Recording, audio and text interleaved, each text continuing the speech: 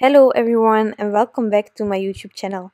Today I am making a card for the current mood board by Butterfly Reflection ink which is just gorgeous.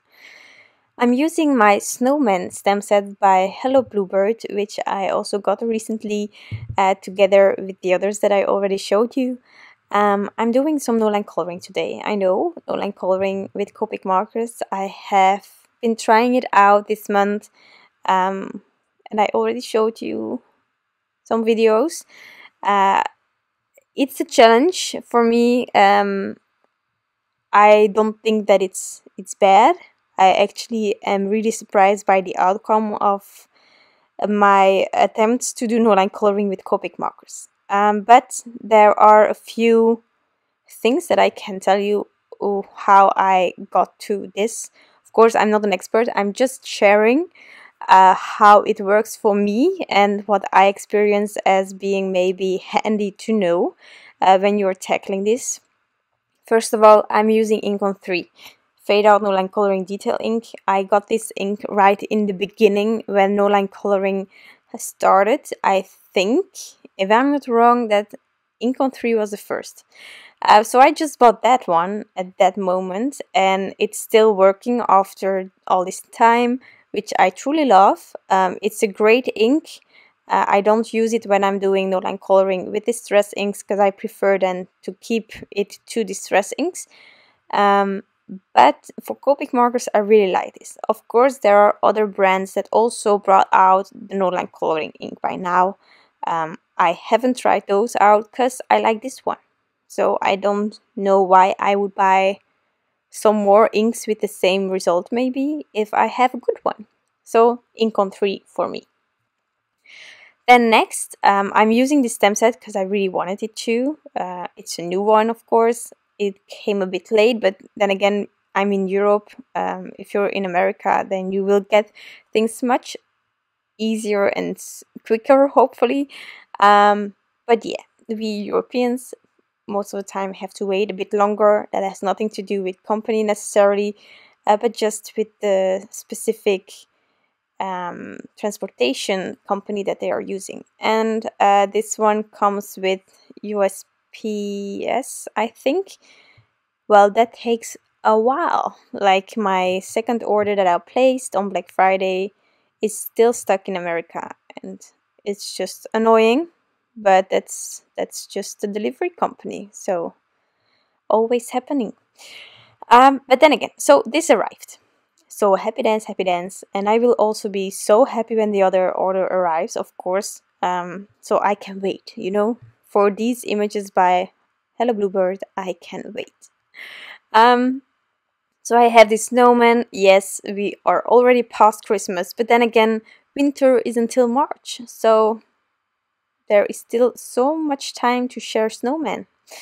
Um, so that's what I'm doing today. And then for the no line coloring, I think it's really important when you start, and that's definitely something that I searched for uh, in these images by Hello Bluebird that I got, is to find simple images. Um, if you're an expert on no-line coloring or Copic markers, you probably don't need the simple ones, but I'm not an expert. Um, so I prefer, uh, when I try the no-line coloring, to have simple ones. What do I mean? It's not that there cannot be mittens, like here, uh, but these uh, surfaces that you need to color are quite large each time. Um, and then the details that they have aren't like petite. They aren't like truly as small as like a tiny bow with with this. Uh, a tiny bow can be really difficult. Um, normally, I will share a card like that in the future, and you will see that the tiny ball was just a bit too high for me. Uh, the level of difficulty. Um, yeah, it happens. Uh, but here, for example, uh, the mittens, they are quite big again. You have enough uh, space to add shadow uh, and to create dimension. Uh, this had simple forms, uh, but again, super cute, so that's truly handy. The snowman itself, there are large surfaces to just do that color that you want to do the snow in. Uh, so that's all what I'm looking for. Also the dog and the cat, they are smaller and they have like um, I don't know, a, a color, uh, a band. I don't know how you say it in English, but you know what I mean. Um, so that's a tiny detail on those images. But then again, it's simple because it's just, there are two lines and you just need to fill it in.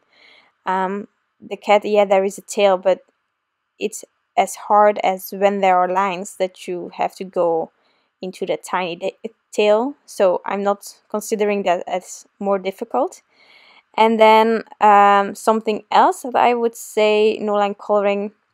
Normally with Copic markers, I go for the whole area to be immediately colored in. But you probably saw me doing it with the snowman itself, with the body of the snowman. Do it in specific parts. Uh, what do I mean with that? Uh, just you need to be able to create a dimension, create a shadow that you want. Um, if you would be filling everything in uh, without uh, doing specific parts separately, then you might uh, lose the lines or the specific idea of the stamp. Um, so I just do it in parts. If I have a bigger image also with the animals, you will see I will not like go crazy and think that I can color everything immediately. I will split it up in parts and make sure that I get the dimension that I need. If you, for example, wouldn't have certain markers or you cannot get the transition right or anything and you have some pencils at home, uh, any pencil you have that matches with the colors that you're using on your images, you can always later on use your pencils to create more depth, create a better transition, create more dimension.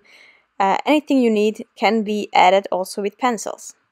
Also, I'm not an expert on that, and I'm not going to use pencils today because I thought that these images were just good as they were without adding any, any pencils. But there are uh, videos that I'm making with no line coloring with Copic markers where I definitely think that adding a bit of pencils for myself could be an added value. And then you just add that and you're also good to go. Okay, so you can help yourself in different ways to create a dimension that you want to. And then another thing, normally with Copic markers, I find that I can color really quickly. When I'm doing no line coloring, that's not the case at all. I'm really, really going slow. Also taking the time to trace those edges with the specific marker that I want to, and then I continue with the rest of the image. Um, it sometimes goes really slow. Also, because you're creating your own edges, if you have an unsteady hand that day or just have some difficulties, it can be a lot to ask your body. Um, it's for me the same with um, with distress inks when I'm doing no line coloring or just painting in general. There are days where I don't have a steady hand, and then I just have to acknowledge that and come back another day. So there are a lot of you that are really sweet and always saying you have such a steady hand. Well, if I'm if I don't have it that day, I'm I'm lucky to have indeed days where my hand is just my best friend. Like steady and good to go uh, with everything that I want to do. Uh, but if it's not like that, then I stop filming. So you don't see me having a shaking hand normally because I try to acknowledge it as quick as possible to not get frustrated because I definitely think that no line coloring with Copic markers is like an extra level. Some people don't really like it. Uh, I do prefer the no line coloring end result. But I cannot do no line coloring on every image that I that I have in my stamp collection. Uh, no, I'm not that good. Uh, but I really, really, it's like the easy images. I, I really search for them. Um, so here I'm doing the kitten and you just saw me. I'm, I'm adding the shadows. I'm going over it to create more depth. Um, that's just how it is working for me right now. Also, this paper is the Transotype Perfect Coloring paper. I don't think I would do no line coloring on Neenah. I love Neenah. I love ink blending on it. I um, also like Copic coloring on it. But I have noticed that I add lots and lots of layers when I'm doing no line coloring. Also to get that dimension going. Sometimes I I choose three colors to combine and then with a certain part of the image I need even a darker one to really get uh, the perfect dimension. Um, and that's most of the time asked for me to go over everything again with another layer and that's where it it can get tricky with Neenah that you get some bleeding. So I am not trying this out on Neenah even not trying it because I already have bleeding when I just have my black outline. I'm not going to put all the effort in it to get the no line coloring going and then have bleeding. So that's just what I had to say about that. Um, also here the dog. I'm trying to first add the shadow parts, but I will leave the foot as it is, like the paw, uh, because I have to add some more dimension there. So I'm just really easily going slowly over the rest. By the way, this coloring is sped up like I think uh, 400% or even more. So just so you know, um, the coloring today is taking a bigger part. I cannot skip it even more because then it would just be flashes uh, for you so then you would have nothing um, to see and maybe learn something from it or just uh, enjoy the coloring of course. Uh, so that's why I have it at this speed but it's really in reality it's really really slow. And these are three images so you can imagine. It took me a while to get this card done. But it was worth it uh, but just this isn't going as fast in reality okay? To really really take your time just enjoy it try to make it a relaxing experience although you can get frustrated. Uh, i had it with specific images definitely. Um, but just take your time and try to make it a zen moment. Those were definitely things that i wanted to tell you um, so really if you give this a go uh, take your time and try to enjoy it okay? And don't be too harsh on yourself. Um, this really is a challenge and if you even try you should be proud on whatever you end up with because it's going to be gorgeous in its own way and you know you can always keep it and then you try again and then you can see your progress. And i also noticed about when i'm doing this that sometimes i'm saying to myself hmm i should have done this like the last time or I should have done that differently or however um, but yeah as long as you enjoy it and that's the most important thing uh, then that's just fine and be proud on yourself. Like not everything goes as easy and who knows this goes like really easy for you but if you don't try it you cannot know it so uh, but definitely this uh, is something that I want to keep trying out. Um, yeah, so I think you probably will see this more and more on my YouTube channel. But again, I cannot do this on all the images, uh, really detailed ones. Like for example, the coffee friends uh, that Hello Bluebird came out with that I used on my previous Hello Bluebird card. Uh, that would not be an option for me. Just to be really clear about that. Those are just too detailed, too tiny images, um, way too much details. Uh, it's gorgeous, but it's not an option for me to do no-line coloring. Maybe, well, I can do it no-line coloring with distress inks, but not with Copic markers. and here I have three hearts. I'm just doing it in my pink. By the way, the pink and the blue and then the mintish lightish blue is for the color palette. And then I will also use some rose gold uh, later on. But to match my uh, pink accessories, uh, I decided to do the top of my background with Victorian Velvet, one of my favorite distress ink colors also, so that's handy. Um, and this background is the Snowy Sky scene by Hello Bluebird uh, which is an adorable scene um, when you die cut it you have two snowy hills and then you get this amazing sky with some snowdrops as well as some stars And then for the snowy hills, I decided to just use the same markers as I did on the snowman, just to keep everything matching. Of course, I could also have used some distress inks, uh, but specifically to get this um, color, I just wasn't sure whether, for example, cracked pistachio would work. I think it's slightly off, uh, so just to be to be sure about how uh, the snow was going to match with the snowman, I just took the same and I'm glad that I did. Uh, but I'm just adding a bit of shadow on the bottom, then on the edges, and I will slightly add a bit of color on the upper edge as well. And from the edges, I'm just flicking. Uh, that's the only thing that I'm doing, nothing fancy.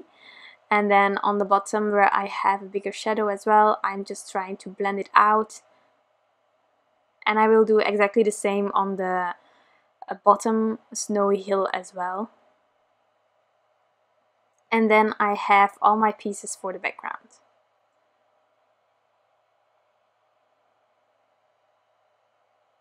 just flicking also doing backgrounds with Copic markers I did it a few times in the past nothing fancy again just just getting a blend going uh, there are also people who can make like those amazing trees and uh, even like houses and hills on their own.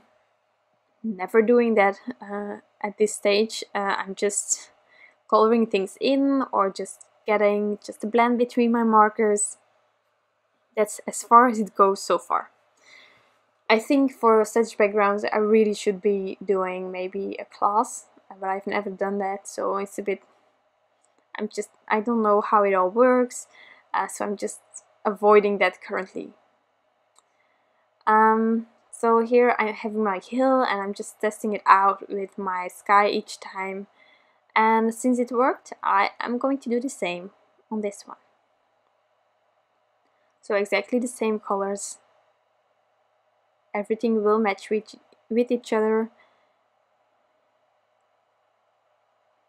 And flicking on the edges. And then going back and forth between the colors, that's like the secret, in my opinion. Flicking and going back and forth. So also this paper, because I am doing this Copic coloring on the hills, I have also cut it out from Transotype perfect coloring paper. Not that I can have any bleeding here, uh, but then again, it's the same white. Um, I have die cut the images using the matching dies, so you have this amazing white border around your images and I truly truly love that white border I would just I would love to not need to buy dies um, but I cannot miss the white border. I cannot. So in this background die there is also Let It Snow which is also a sentiment from the stamp set itself but it's written a bit differently. Um, and I wanted to use this amazing mirror card. This is from Tonic Studios and it's the Burnished Rose. Um, if you check out uh, the blog post by Butterfly Reflection Ink or also mine I have added the uh, mood board on there with also the link towards butterfly reflection. Um, you can see that there is a light blue then a light pink then a sort of a goldish pink uh, and also dark blue. So I have all these things but in my opinion I sort of switched uh, the light pink actually is the goldish pink uh, for my card and then the goldish pink on their mood board is more my regular pink that I chose for this card but it worked so I got this Press'n Seal and I forgot to use it in one of my latest cards where I needed it uh, but here I thought about it so I have placed my images on my card how I wanted them and then I added the Press'n Seal press it down and all my images are now at the exact spot where I want it to be and I can later on just add it all together on there. So to add some dimension onto my background, I first added the sky with liquid glue. Then I used the Big Momma foam tape roll from Simon Says Stamp for my first hill, which is a thinner foam tape. And then for my second hill, I used the Scotch 3M foam tape, which is, in my opinion, the normal uh, size of foam tape. So now for uh, the sentiment, Let It Snow, I decided to add a bit of a shadow behind uh, a white one. This way it also matches with that white border of your images. Also the snow being partially white still um, was just a nice idea I thought. So I did that with some liquid glue and now I'm adding all my images using thin foam squares and some liquid glue uh, to go onto this background. And then once these are all on there, I will do the cat again because I want it to be a bit lifted. I can add the sentiment.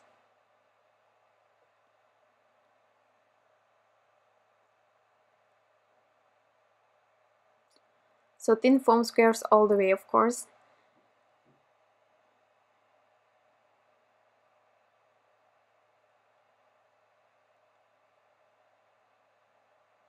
And then for the sentiment I will just add it flat with some liquid glue with the shadow behind it there is already a bit of dimension created so that's handy and I am just going to first line up the snow with my T-square ruler and then I will first uh, lay down the let it onto my grid mat to have it straight take some purple tape and then use my T-square ruler again with the purple tape to get the rest in place. Sorry that my head is a bit in the way. I'm slowly removing the purple tape to not ruin anything. And then I still needed my tittle. I uh, lost it. So um, it took me a while to not find it. And then I just did it again. I cut it out on, of white and also of this gold. And then I added it onto this card. On the heart I did some glossy accents and now I'm going to add some stickles, these are the crystals, onto the details of the mittens. And here I'm adding those two tittles. I love the name. so previously I added it on the side on top of each other, but I decided that I was now going to just glue it directly on my card and then I could easily um, get the shadow right because it's tiny, it's a bit difficult. Um, placing it a bit higher to sort of match it with how it looks on the die and then this is finished.